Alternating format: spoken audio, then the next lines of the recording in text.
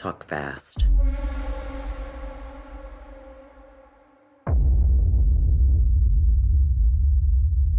Hello, everyone. Happy New Year. Hope you're doing well. We're kicking off the new year with a big one.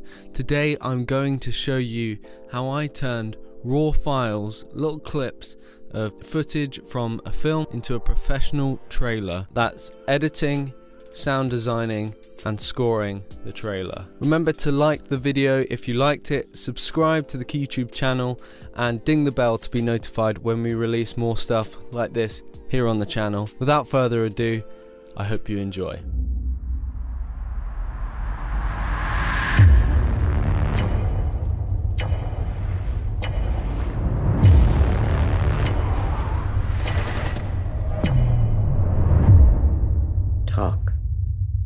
Talk fast. You first. Never seen one like you before. Almost human. I am human. Just enhanced. I can see you're very upset. I'm going to help you protect the girl. Why do you care what happens to her? Because I was her. My name is Sarah Connor. August 29, 1997 was supposed to be Judgment Day. But I changed the future. Saved three billion lives. Enough of a resume for you. No. You may have changed the future. But you didn't change our fate.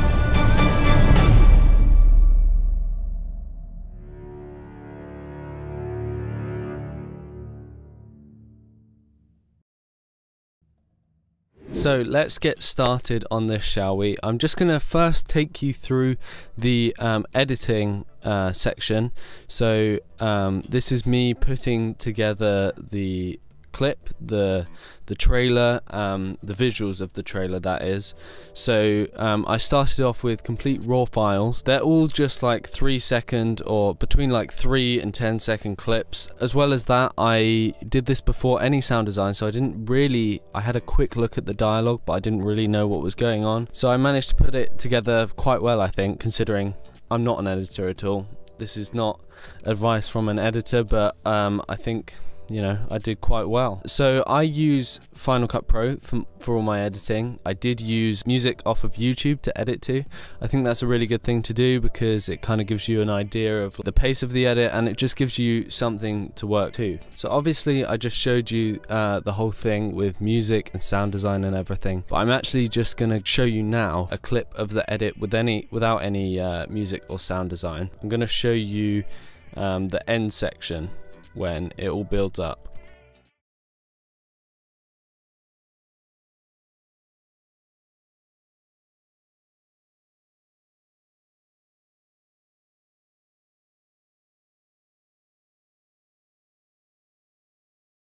So now if I just if I just bring out one of these clips, I'm going to show you what I had to work with basically.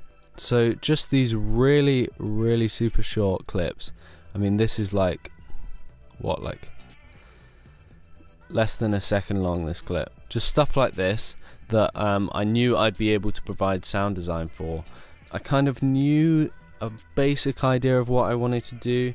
I wanted to start with a sort of weird dream sequence. I thought that'd be kind of cool to bring you into the trailer and then she wakes up and then I knew I would go into sort of like the the beginning titles after that introducing the film and then I knew towards the end that it would rise and rise and rise, and the music would rise, and then we'd be hit with the final title. When editing something like this, I think it's important to give some stuff away and give an idea of a story arc, but not like any specific details. So, for example, you don't really know who any of these characters are. If you know a bit about Terminator, you might know that Arnold is quite important. As well as that, you can see that um, we have our main character here. She is the one that wakes up, um, and so she's the character that we like sort of instantly connect with. So obviously, she gets the most screen time for this trailer. Again, I was just working to music, so I was just kind of like cutting it in with some drum beats, which I knew I would then rewrite. Enough of a resume for you.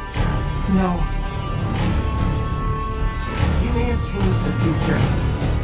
So that's just a basic walkthrough of how I did the edit for this. Again, really simple, just putting together a small story arc um, with lots of little clips because it's an action movie. You want to keep the audience engaged. Let me now go on to tell you about how I did the sound design. For that, we'll be moving to Logic Pro X. So Logic is the software that I use for sound designing stuff. People use Pro Tools as well, um, but I just I'm just way more familiar with like the editing process in Logic. Again, I'm not a sound designer, although I am much more experienced in sound design than I am editing, of course. Um, I actually wanted to be a sound designer before um, I became a composer, so um, I did study it a lot at uni and stuff. I basically just grouped the sounds into three categories. So, first we have the vocal sounds, which are the like dialogue and the like grunts and stuff that the protagonist sometimes makes when they like hit people and stuff like that. The second is Foley sounds, so fire crackling, helicopter sounds, boots on the ground, and stuff like that. Um, so the actual sounds that are in the scene, the diegetic sounds. And then finally, we have um, some extra sound design. So that swells, booms, um, impacts, that sort of thing to give that lift to the energy of the trailer. I've also been working to temp music, which was the music that um, I just did a quick edit together. Um, some music off of YouTube. Again, I can't use it for copyright reasons, but it gave me an idea of the kind of levels that I would be working at. You know, that's always good. I should mention as well that I got all of my sounds from this website called SoundSnap which is what I used in uni and it's what I use now. Um, you can search like, let's go for Firecrackle, and it'll come up with loads of different things. Little Firecrackle sound there. Um, and you can just download them and then um, bring them into your DAW. So again, it's really, really simple. Um, let's have a look at the mixer. I've literally not used any compression or anything. Um, not even EQ really. no, I haven't EQ'd anything. Um, so that's great. It just like the quality of the SoundSnap sounds is great. I could have EQ'd some stuff, um, but really, um, it wasn't really needed on this trailer, um, especially for just like a small little edit. I've mostly just sort of used, I think, reverb and a bit of echo. Um, so that's 97, so that's on the plane crash sound, I believe. Yep. Cool. So um, I'm going to first show you the vocal sounds. Um, so it was presented to me in one long strip of um, all the dialogue, so I had to cut it up and um, match it up to where it was used in the trailer edit. It was really well recorded dialogue, and I think it had already been processed probably um, because it sounds great. Maybe a bit of reverb on there. Um, so let's see what reverb I was using. I was using Vocal Reflections reverb which is really really short reverb um, from FabFilter Pro R2 just again a preset so um, not too difficult to do yourself. Now I got these grunts from SoundSnap they seem like they fit quite well. They're not too in your face so I liked that. It sat behind the dialogue. No. so next uh, this is what took the longest but again really really simple um, just the Foley sounds. I was going in and finding lots of different sounds off SoundSnap, um, just to kind of uh, give some life to some of the footage that seemed a bit weird without any sound. Let's just highlight this section here. So I just wanted one little sound for each clip that comes in.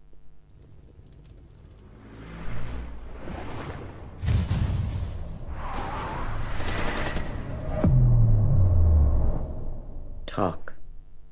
Talk fast. And I was really happy with the way that that came out actually because um, I did a lot of panning and a lot of um, just like minute um, processing, um, like changing very small things um, just to make it like move around the head headphones a little bit nicer.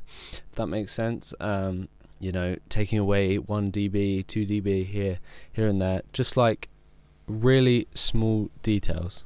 And you really want to pay attention to where the subject is in the scene. Pan it accordingly. So, for example, here we have two cars crashing. I wanted two different car crash sounds. Often sound designers will layer a few sounds at once, literally like dozens of layers it could be of different sounds to create one sound. But for this, it was important because um, it just like kind of stopped it from sounding like it was just the same sound playing for each car. It kind of brings you out of the scene. So here we go. Let's play this. So over here we have like a skidding sound uh, on one of them, which I liked. And then the other, I believe, was just the impact. See how it lines up with the car hitting the truck? You know what? It's not even perfectly timed, but it could be.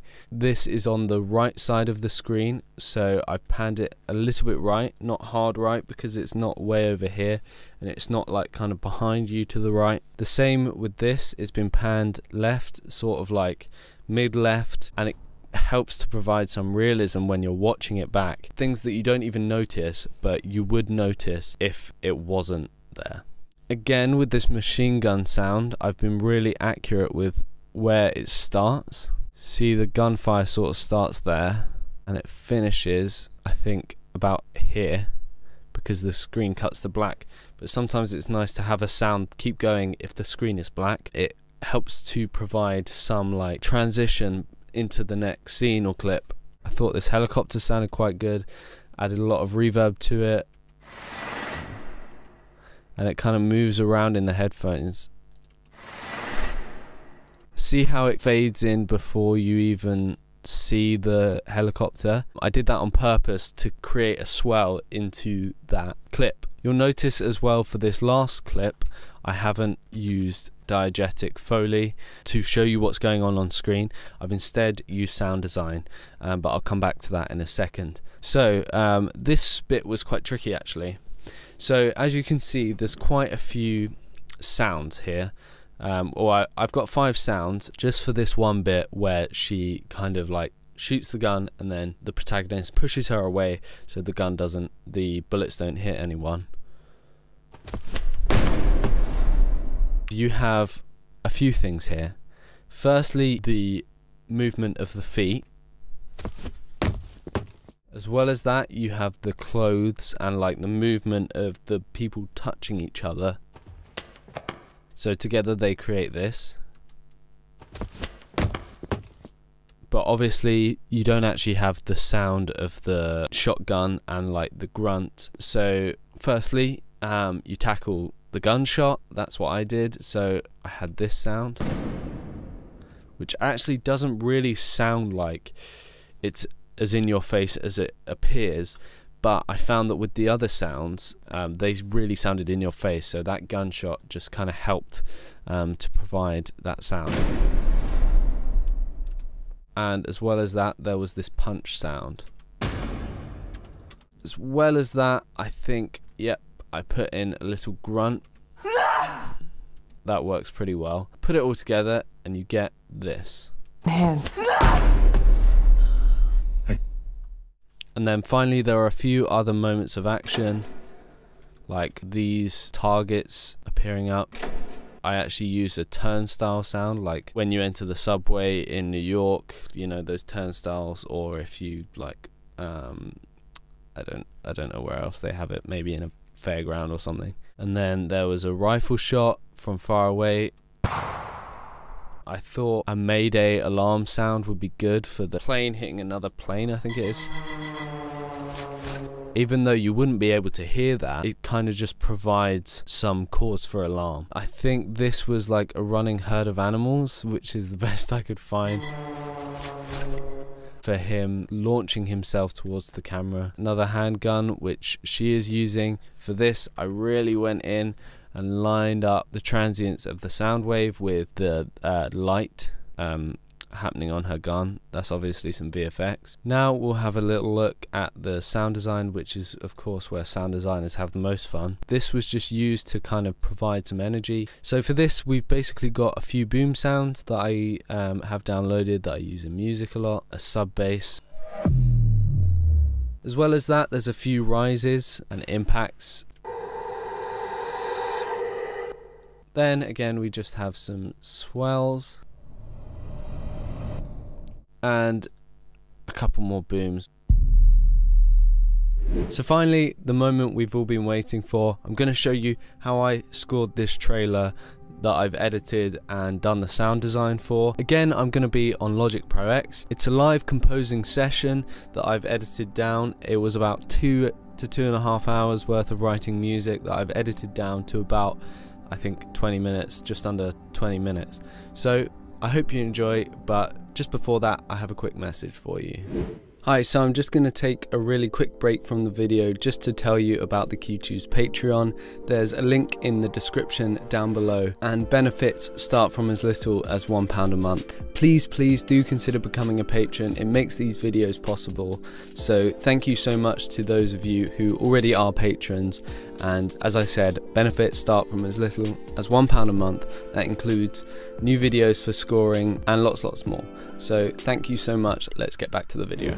So the first thing that we want to do in terms of music really is we want to change the tempo so that it fits the way that um, the clips and the cuts come in and out. Um, because I've cut it in a specific way where these little clips come in and out.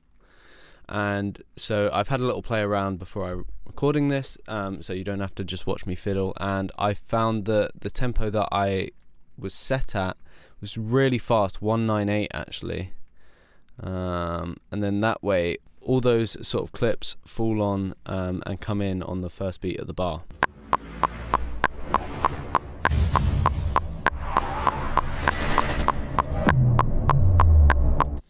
And then we'll probably cut here when she opens her eyes to a slow tempo again. So first things first in terms of sounds is obviously we want to start it and grab the audience with that kind of massive what sound. Um, and as it starts on bar 9, we'll start from there. Um, as always, we got a bit of pre-roll. So I have a few go-tos when it comes to those kind of big bois sounds. And the ones that I use are the synth lead sounds from Albion 1, which is great because it means you'll be able to create massive, massive sounding instruments straight away as Albion 1 is like a starter kit when it comes to composing, media composing specifically. Um, and the one go to that I have for that is this pande- one called Pandemic. Um, and it just has this huge sound straight away.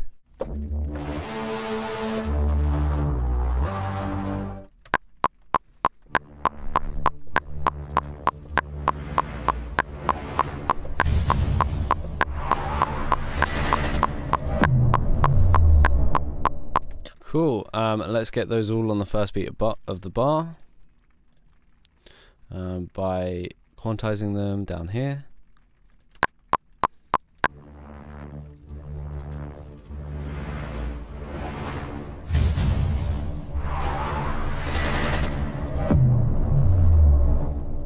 Let's have this last one extend a bit longer in so you get the reverb tail into the first scene where she opens her eyes and the reverb that I'm going to use for this is actually the concert hall reverb which I use for a lot of my strings and my um, orchestral elements. You can usually replicate across two different sounds to create these big bois sounds, you know.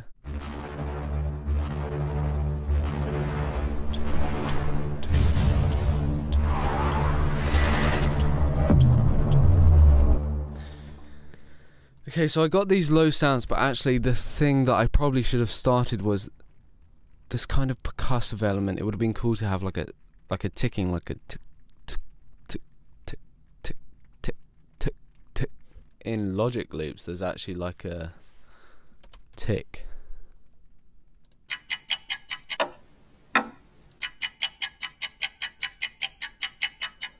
I like that. So I'm actually going to put that into here. I have a logic loop section in my template just because I think some of them are so great and you can like I don't just use them just as they are. I like to mangle them a bit.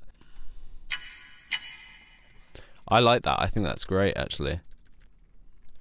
So for the drums I'm going to use Easter Island percussion from Albion 1 as well. I think Albion 1 is it's a great library for trailer music specifically.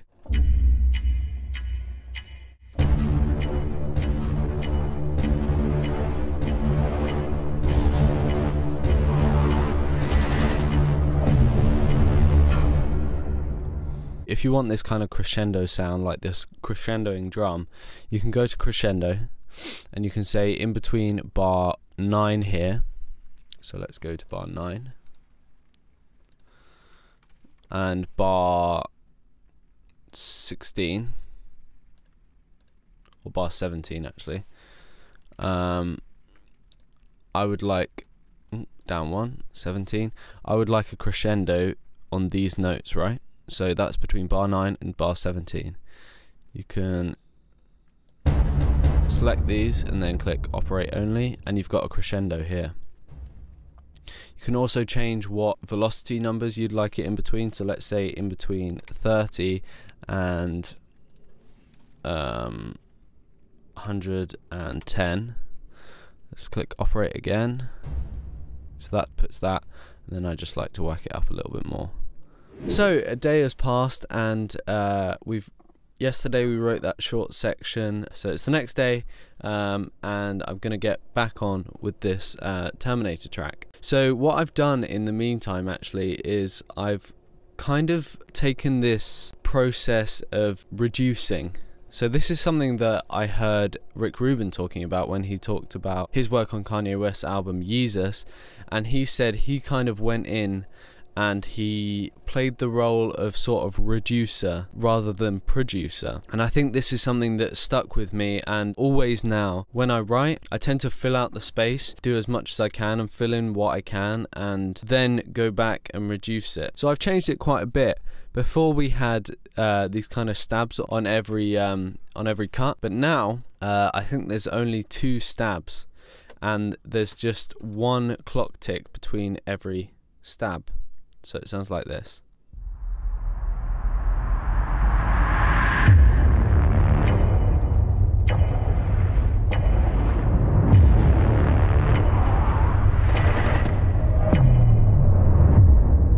Talk. Talk fast. I'm I much prefer that actually. So now we're going to get into the next part of the trailer. And that's this part where there's quite a lot of um, dialogue. Who first? Never seen one like you before. Almost human. I am human. Just enhanced. I can see you're very upset.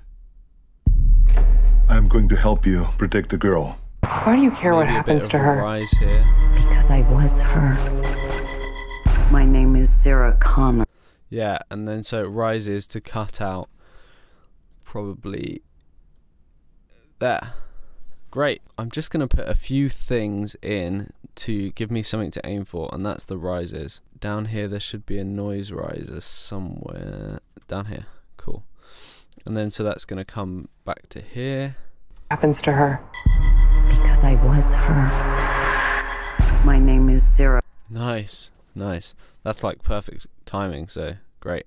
So I think this bit is kind of just going to be like some pads in the background, um, because that's kind of all you need to fill in these sections with a few kind of like Dopplery sounds and stuff like that. But first, I'm just actually going to outline some of the hits that I wanna that I want to hit on when the different um, creators of the film appear. Never seen one like you before. Yeah, stick a boom here. And now we can go into these synth pads. Dark Intrigue. I think that sounds right. Perfect.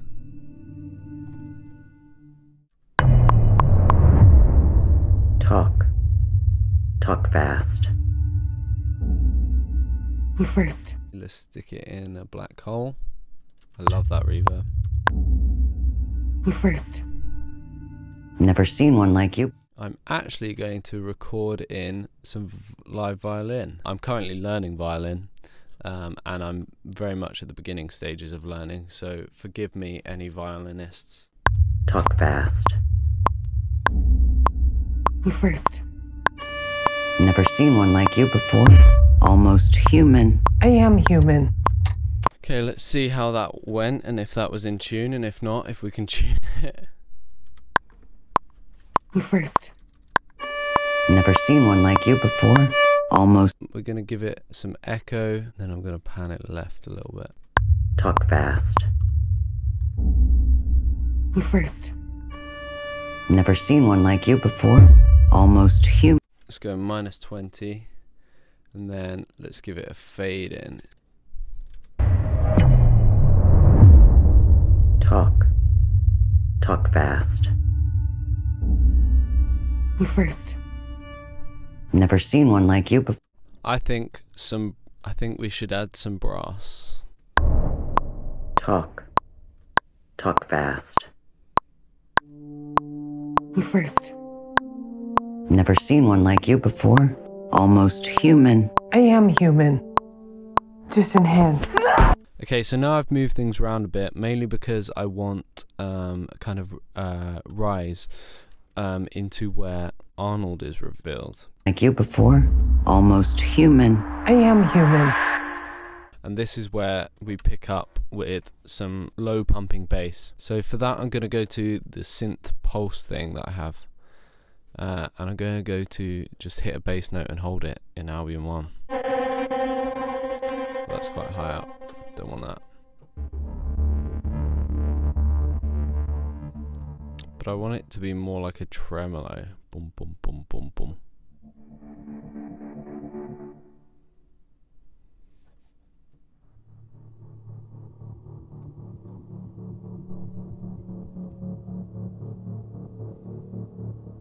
Nice. Almost human. I am human. Just enhanced. I can see you're very upset. I'm going to help you.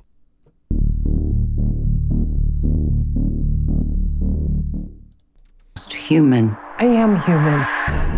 Just enhanced. I can see you're very upset. I'm. I can see you're very upset. I'm help you predict. Seen one like you before. Almost human. I am human. Just enhanced. I'm going to help you predict the girl. My girl has her. Just like with her. My name is Zero. So basically, I was trying and trying and trying, and I couldn't really get anything on camera. So I just said I'll go and compose the rest off camera, and I'll I'll walk you through it. So, um, I think when I left you, I had um, a few things in this like middle section here, um, but now I've kind of done the same thing where I've reduced it a little bit, and it sounds a lot better actually. Um, I've tidied things up too, and then I've written the final rising um, section. Let's have a look at what we've got.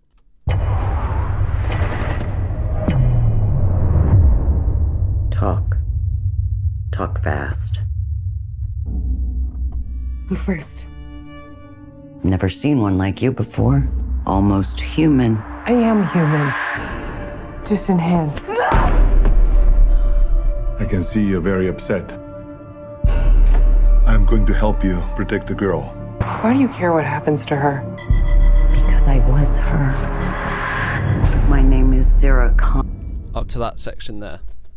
So basically, it's just kind of outlined by a lot of swells and booms and stuff like that, along with some very basic, uh, very very basic synth pad sounds. Like literally, just here, there's three pads, and that's what do most of the the background sound. Kind of moves around a bit. I like to pan them in different directions, as you can see. Um, this is hard right, hard left, and then right down the middle. I've got this horn line too, which is just like it just felt like some horn was needed to be honest. Kind of represents the intrigue that an audience has when they watch a trailer, and then an anvil impact sound. Um, there's a little bit of a tremolo kind of synth pad that comes in slowly. And then there's one little like pluck, which is here. And that that that is basically just it. I've messed around a lot with the tempo to make sure timings are like on the cut, which it looks so messy, but you know what, it works. And then we have a noise riser when you see the enemy running up to the camera. When he reaches the camera, it cuts out. I was her. My name. But then there's immediately a swell into the next section. Two very different swell sounds can work together to ease cuts, basically. Cut. Like a cut out and a cut in. Like this is already swelling in before this is finished the swell. So I'm just going to play you this last section now. was her. My name is Sarah Connor. August 29, 1997 was supposed to be Judgment Day. But I changed the future. Saved three billion lives. Enough of a resume for you. No. You may have changed the future. But you didn't change our fate.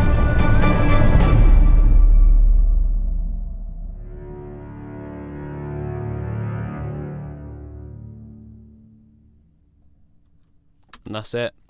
So this is something that like I always do the same thing for trailers like this. Um, just basically a rising a rising synth sound. So we have this rising up D minor and then chromatically towards the end.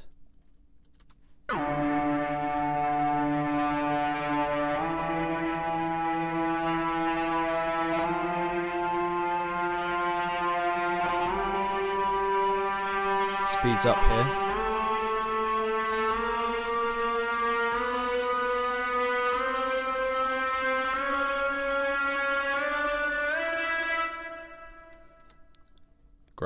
And then also you just have um, a low D um, kind of bass line that's pumping to kind of keep some sort of energy.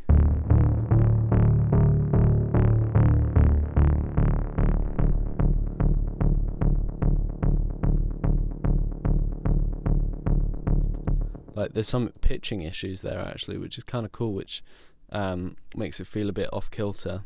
So this sound is actually from Analog Dreams, which is um, what comes with Kontakt when you buy it. And then um, to kind of outline the hits, I've just used a very simple Darwin percussion um, sound from Albion One.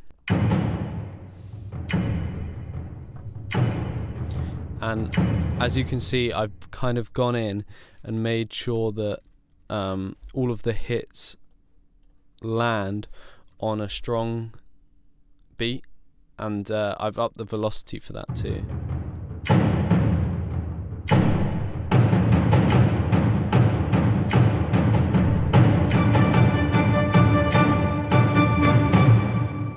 And that's kind of doubled in the uh, Easter Island percussion, which is also from Albion 1. So if we just solo these together and play them both at the same time, and we can have a look at what's going on.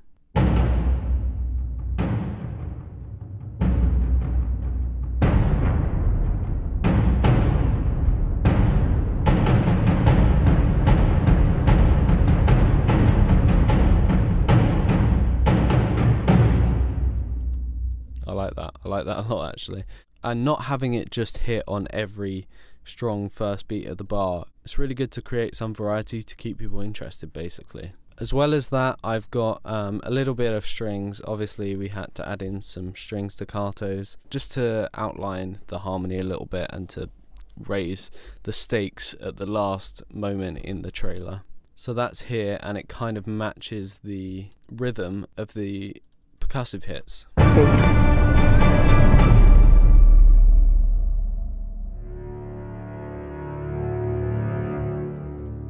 And then finally, when after the main title, um, we just have a little bit of um, cellos and basses coming in.